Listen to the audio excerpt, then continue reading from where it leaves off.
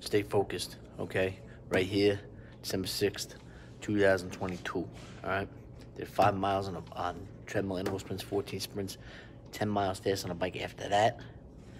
Fastest with endurance hurdles, okay? Uh, 100 wind sprints, upper body, abs. I'm fast and I'm quick, all right? Doesn't matter what age somebody's. Look at the film, all right? Be the best you can be, all right? Stay focused. Have that tunnel vision, all right? I do.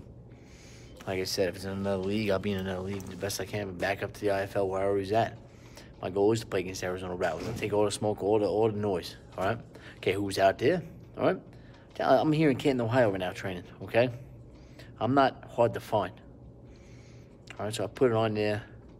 I can, I will, I must have that tunnel vision for my son, be the hero tomorrow in Storby, and get this done.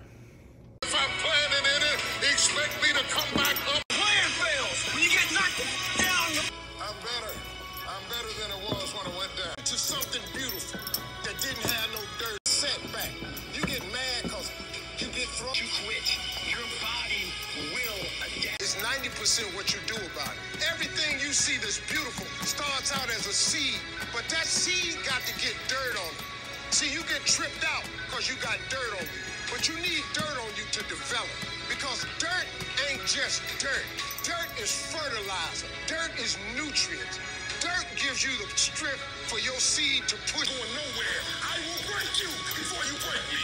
You will not defeat me. It has grown into something beautiful that didn't have no dirt. Every time you go through something hard and you can't see your way better than it was when it went down.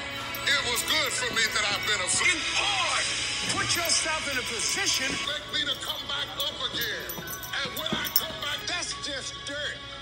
You get mad because they talking about